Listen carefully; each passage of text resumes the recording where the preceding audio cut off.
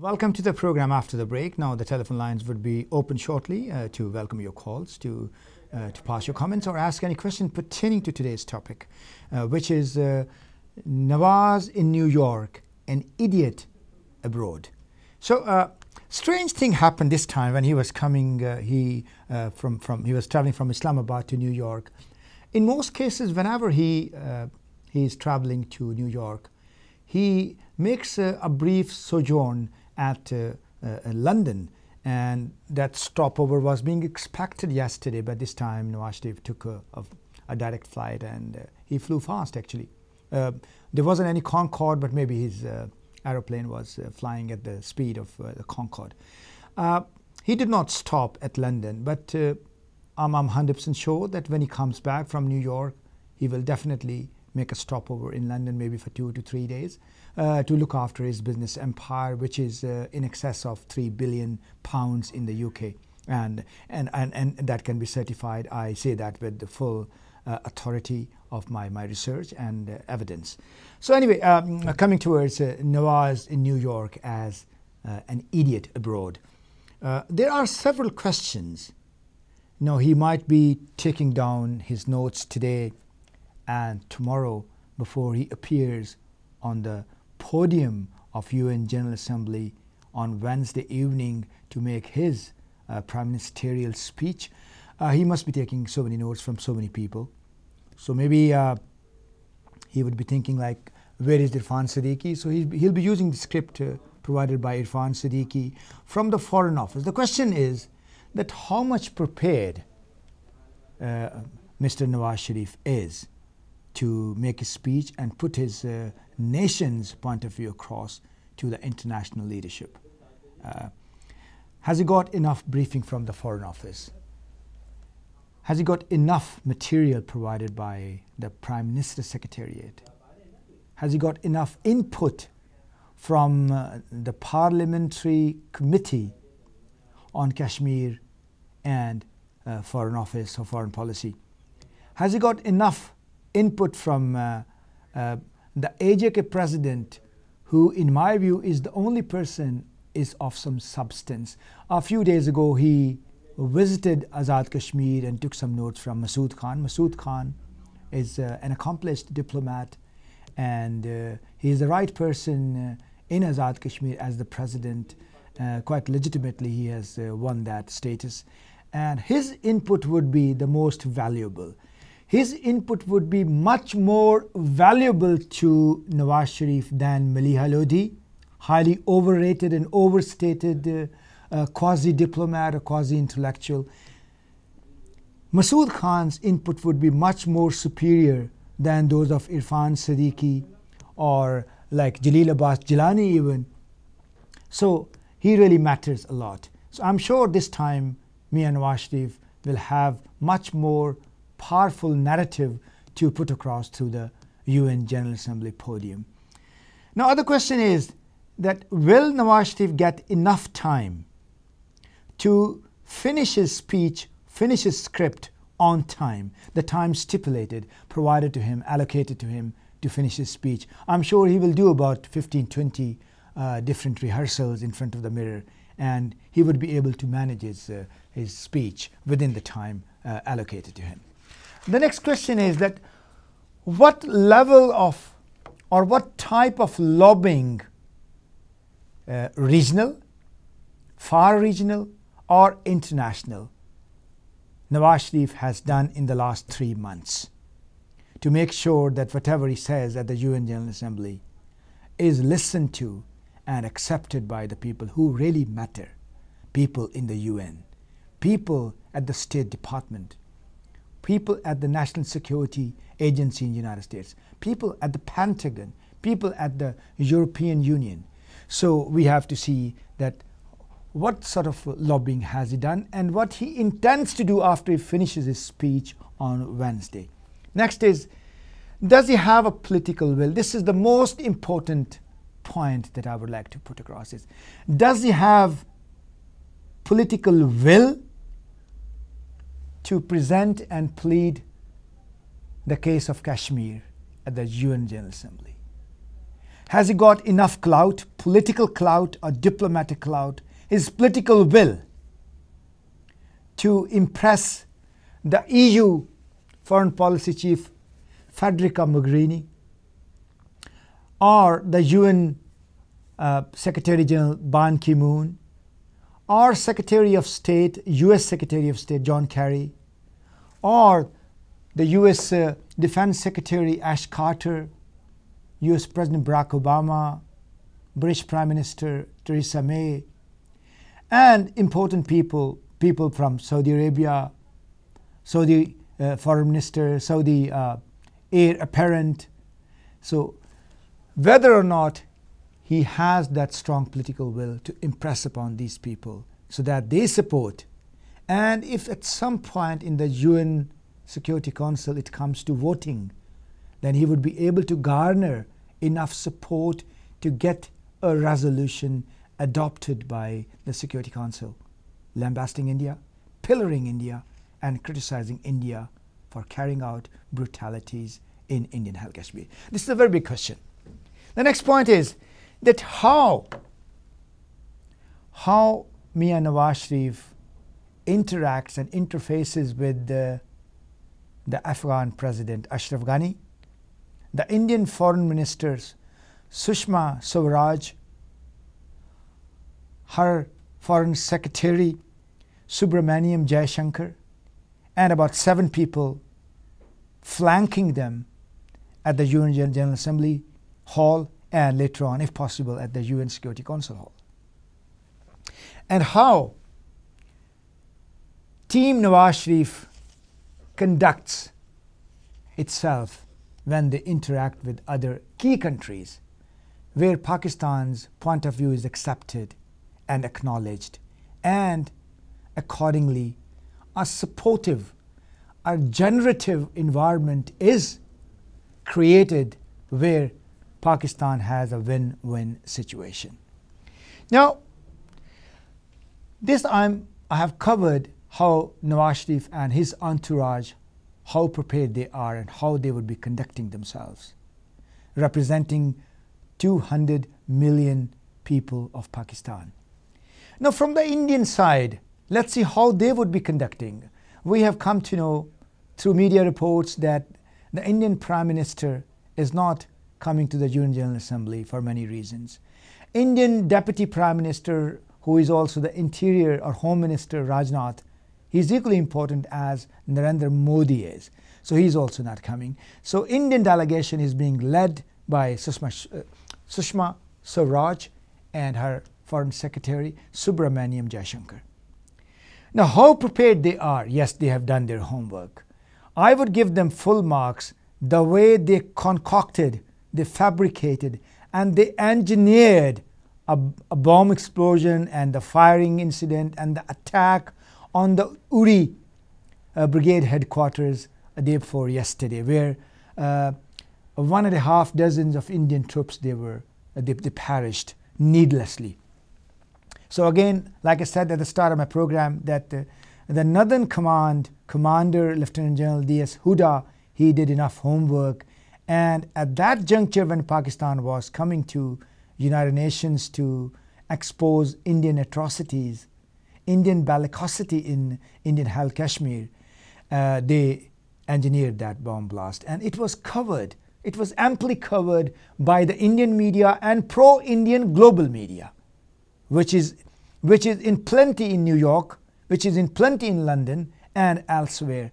So Indians they did their homework and with that, uh, the statements, the very aggressive statements by the, the Indian Raksha Mantri Manohar Parrikar that Pakistan is behind that. Now the question comes to mind is that how Nawaz Sharif would comfortably be able to lambast Narendra Modi and his administration at the UN General Assembly.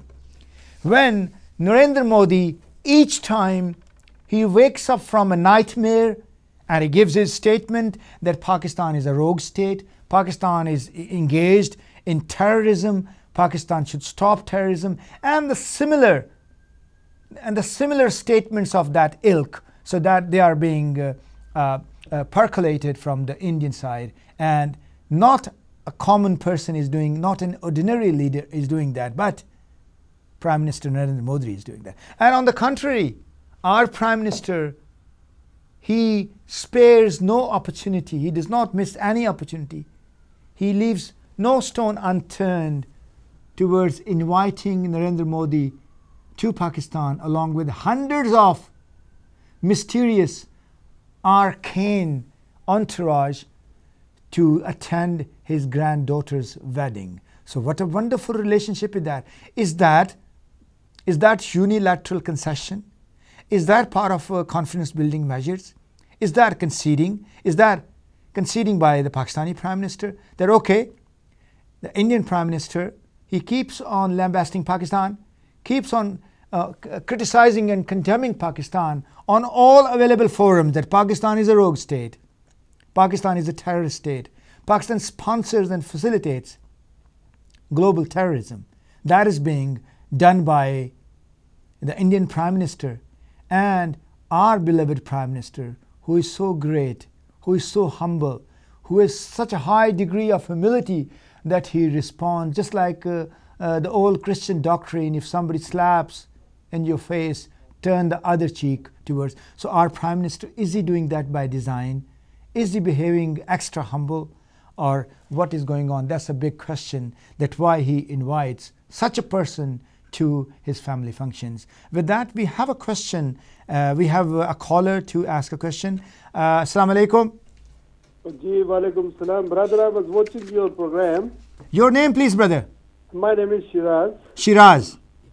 I was watching, I was just flicking the channel and I came to uh, by you and uh, it was quite interesting what you're discussing Pak India relations and the Nawaz Sharif uh, is in New York. Uh, first question is from here as you displayed uh, an idiot abroad. Who is an idiot in this uh, topic? First of all. And second thing, uh, my question is that, uh, I mean, what is the way forward uh, to improve uh, India Pak relationships? And then, if they improve the relations between India and Pakistan, where um, where is the international community as we witnessing since uh, July uh, this year uh, continuously uh, Indian forces are killing uh, Kashmiris, uh, more than 100 people been killed.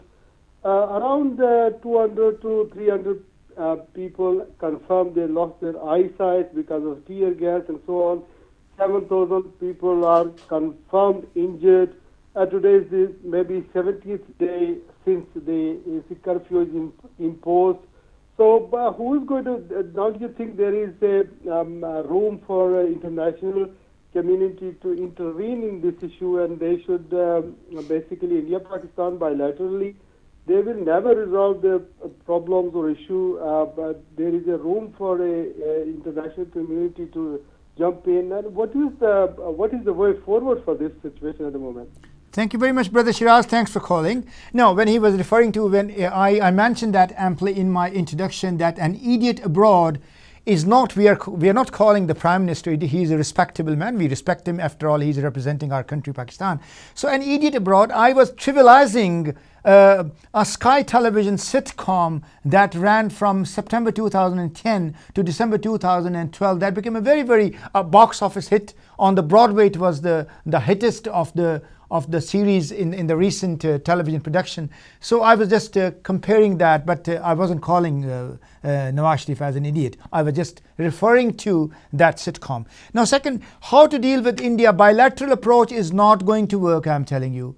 Uh, I've got an expertise, I have a research, doctoral research on India Pakistan relation through confidence security building measures, and it has to be a multilateral or, or, or international approach. And UN resolutions passed in 1950s, 60s, and 70s, they will have to be reactivated. And the solution to Kashmir issue is only and only that lies in those resolutions. Uh, we have got another caller. Assalamu alaikum. Uh, Walaikum salam. Your name, please? Uh, Mrs. Tai from Bradford. Mrs. Tai, assalamu alaikum. Walaikum salam. Uh, you got very, very interesting topic uh, and uh, w- what these uh, rulers have for us, especially Nawaz Sharif, uh, the only thing we see is their luxuries, their style, uh, their mansions, their, their the buying properties in the most expensive areas in, in the world, and their VIP movements. Uh, that's that is their policy for this country, and uh, no uh, is metro. Uh, the Okay, okay, thank you, thank you, that a Miss, future Mrs. of Tad. I've got, I've got your point. I've got your point. Let's not digress. We should stay on the topic, and I'll get back to you later. Thank you very much for your question. I've understood your, your point of view. That's more like a comment. Now, uh, very quickly, now, what Nawaz must do today and tomorrow. Number one, he should try to meet people like Secretary of State John Kerry, even if that is for five minutes on the sidelines. He must meet with the National Security uh, Agency, National Security Advisor of uh, United States, Susan Rice. He should try to grab an opportunity to meet with the, uh, the UN Security Agency like NSA. There's so many people are around in the corridors of the UN General Assembly and the UN main building. And the people like Admiral Michael Rogers or his representatives attending uh, that session. Nawaz Sharif must grab an opportunity to meet with Ash Carter, the, the US Defense Secretary, and James Comey. So he's representative from the, uh, the FBI. They would also be there. So he should try to meet, or his delegates, they, they should try to meet with them. Next is Nawaz Sharif must have a meaningful dialogue before his speech with uh, the Saudi heir apparent Mohammed bin Naif and the Saudi defense minister come deputy heir apparent Mohammed bin Salman and the Saudi foreign minister Adel Al Jubeir. Along the same lines, with the same gusto and same determination, Nawaz Sharif at equal footing should meet with the Iranian uh, ambassador Jawad Zarif and Iranian President Hassan Rouhani. So before making his speech, he should take them into confidence, though that uh, meeting is of two to five minutes. Then Nawaz Sharif must meet with uh, Dr. Uh, Zaid Al Rad, the High Commissioner, UN High Commissioner for Human Rights. And again, a brief meeting will do. And then he should try to meet as many members from the Arab League, as many members from the OIC, the foreign ministers, defense ministers, their, their diplomats, and he must meet with them. And he should organize a dinner or luncheon uh, for these about 100 people, whosoever can attend. And there, as a second phase, he should give us give a speech after his Wednesday speech to these people. And this homework must have been done by Maliha Lodhi and by Jalil Abbas Jilani and other other people who are having who are drawing hefty pay and perks from the Pakistani state exchequer funds provided by the taxpayers of Pakistan. So if they haven't done that homework, if they haven't uh, organized uh, that sort of dinner or luncheon after Prime Minister's speech, then they haven't done their. So that gastronomic diplomacy, it does play the trick sometimes. Uh, so these people he must, but this we are talking of hardcore diplomacy. This we are talking about uh, a legitimate political force representing Pakistan.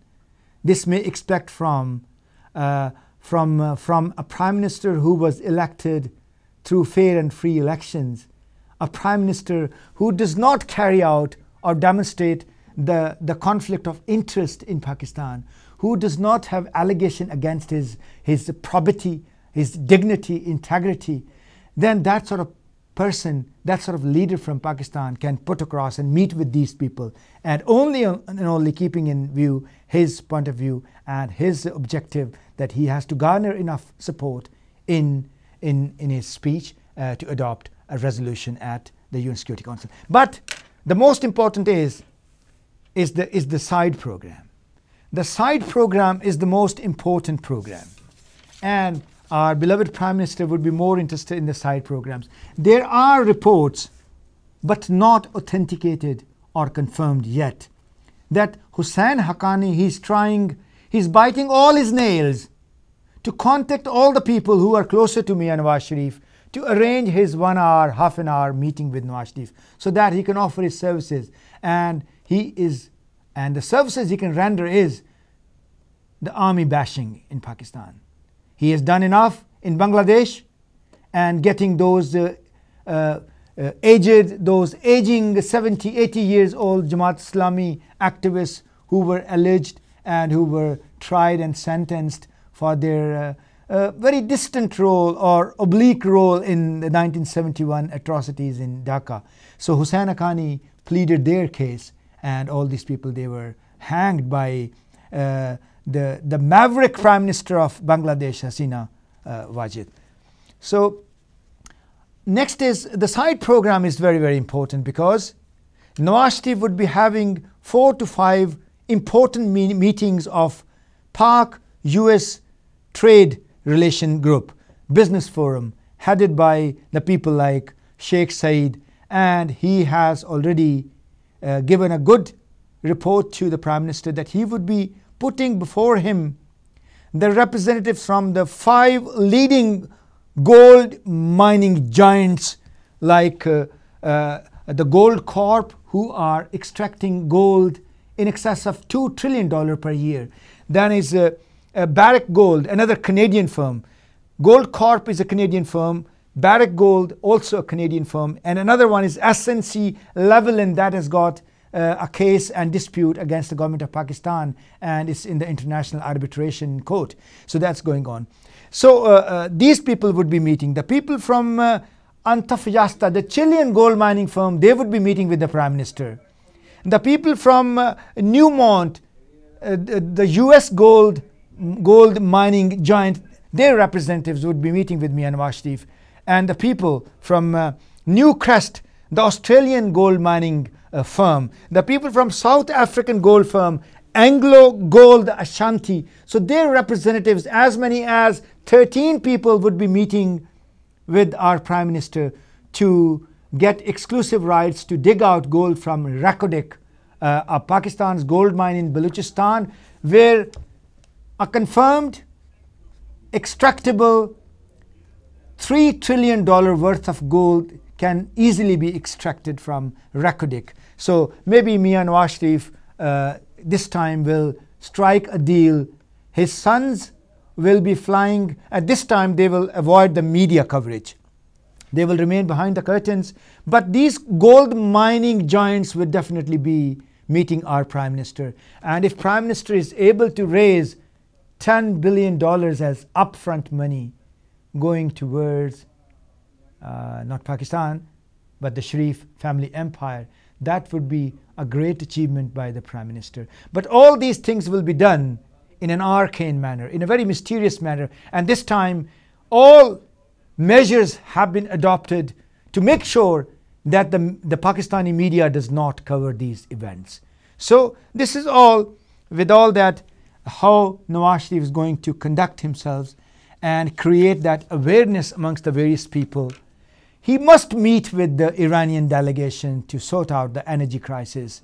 And but let's see, the Pakistani ambassador to Tehran, Mr. J- Mr. Jadmani, has done enough work, homework, instead of uh, having his almost every day his dinner at the Indian restaurant in Tehran called Taj Mahal restaurant over there. So we have high hopes, but we have to be pragmatic in attaching our optimism with Nawaz Sharif, whatever he can gain. Nawaz Sharif is a person who is a very brave man. He's, he's audacious. He's brave. He's very bold. He will put across Pakistan's point of view. Now, he is a person who knows no fear. He is a person who knows no danger. He is a person who knows nothing. So, what we can expect from Nawaz Sharif, let's hope and let's hope, wait and see on Wednesday how he conducts himself at the podium at the UN General Assembly. Till then, goodbye.